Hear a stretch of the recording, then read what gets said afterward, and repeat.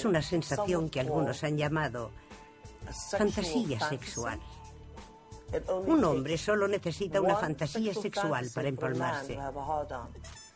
Solo se necesita un pensamiento aquí para que un hombre tenga una erección en el pene. Pero no se la ha provocado nada externo. Lo que se la ha provocado estaba dentro de él.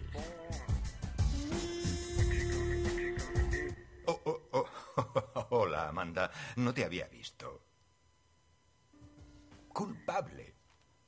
¿Una boda? Venga ya, Frank. Es un buen encargo si lo ves así. ¿Qué hay que ver? Si quiero. Ellos querían. Oh, madre mía, Amanda, vives en el pasado. Todo lo que te pasa tiene que ver con lo que ocurrió. Odias las iglesias, odias las bodas y odias a los tíos. Hmm. Quiero que vayas a echar un vistazo. No hace falta. Me casé en esa iglesia. Ya lo sé, yo hice las fotos, ¿te acuerdas? Demasiados recuerdos te nublan la vista. Amanda, Amanda, Amanda, sabes que eres la mejor fotógrafa técnica que tengo. Y quiero que hagas buenas fotografías. Necesitas una buena boda polaca. Y cuidado con esos chicos católicos tan majos. ¿Te refieres al cura? Venga, largo de aquí. Adiós. Cuando yo era más joven, tenía muchas ideas de lo que era Dios. Y ahora me doy cuenta de que no soy suficientemente consciente para entender lo que significa ese concepto. Iglesia de San Pablo de la Roca. Que soy uno con el gran ser que me creó, que me trajo aquí, que formó las galaxias y los universos, etc. ¿Cómo se eliminó eso de la religión? No fue difícil.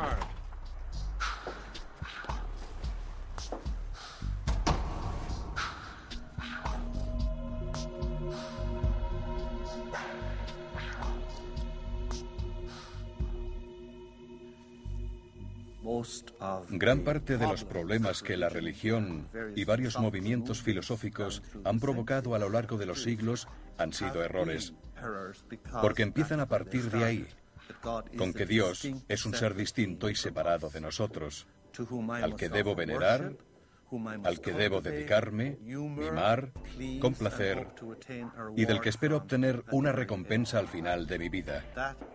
Y Dios no es eso. Eso es una blasfemia. Dios es algo muy amplio, algunas de cuyas partes, la mayoría de cuyas partes, están relacionadas con la religión organizada. Eso es algo que yo rehuyo, es algo que creo que ha hecho mucho daño al mundo. Ha hecho daño a las mujeres, ha hecho daño a los pueblos oprimidos, ha hecho daño al World Trade Center. Y sin embargo, al mismo tiempo, tenemos el arquetipo de una gran ciencia.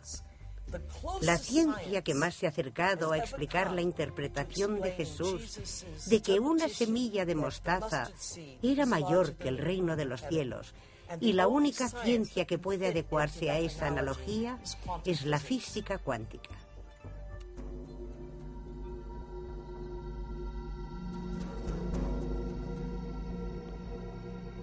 Ahora tenemos tenemos tecnología punta, imanes antigravedad y campos magnéticos de energía punto cero. Tenemos todo eso y en cambio seguimos teniendo un concepto de lo más horrible, supersticioso y atrasado de Dios.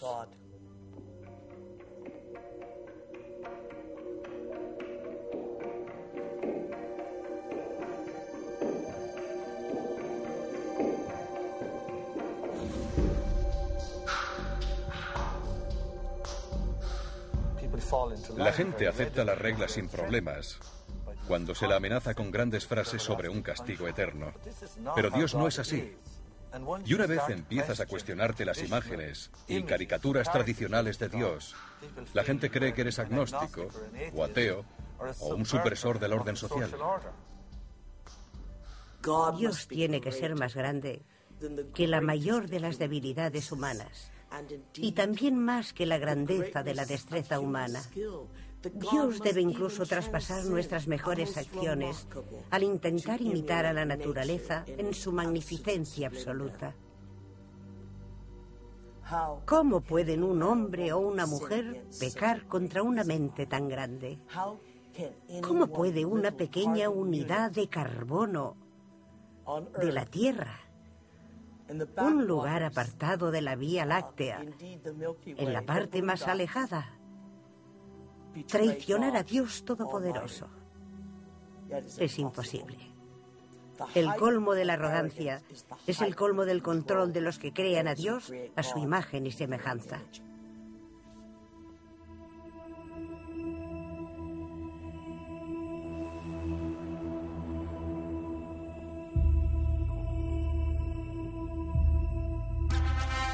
Y ahora les presento al señor y a la señora de Richard Bach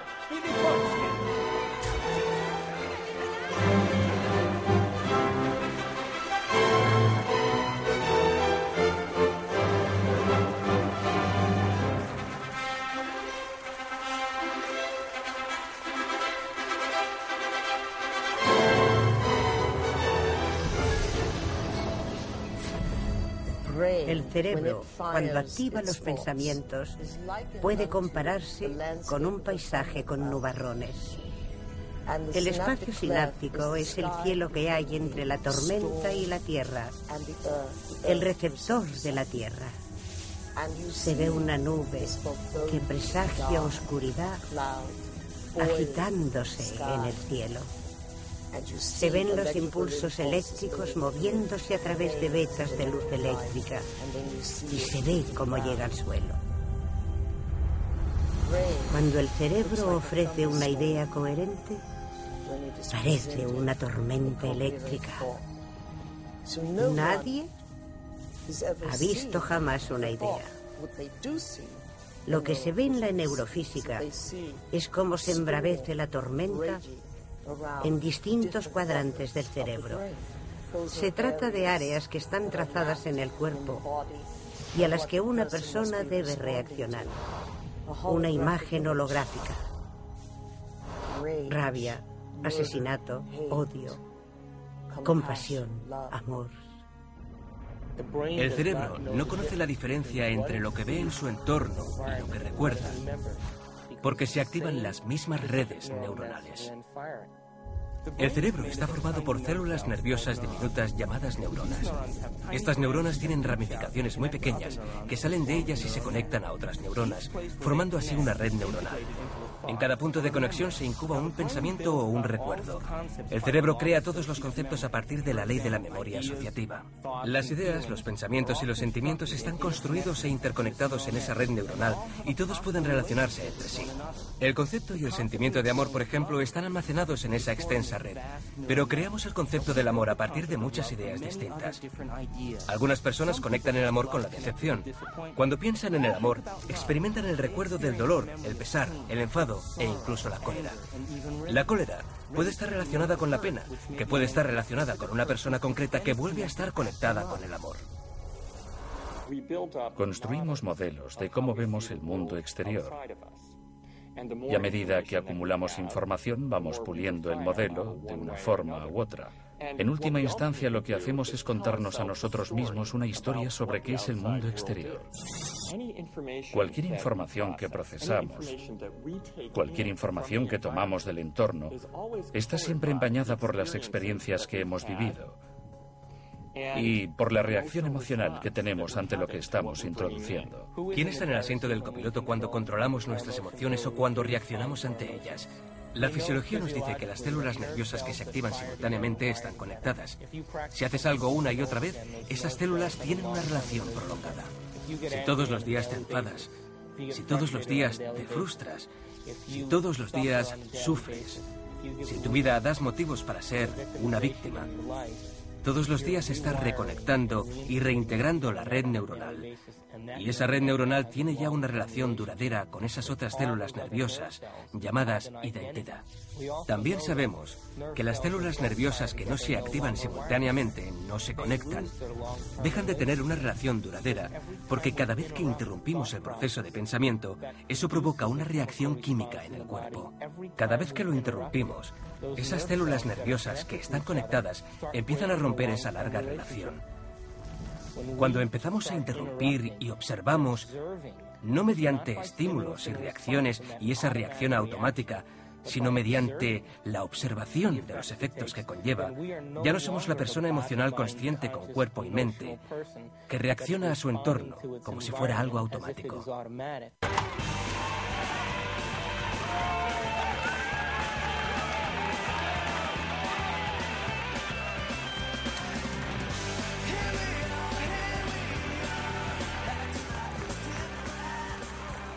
¿Significa eso que las emociones son buenas o malas?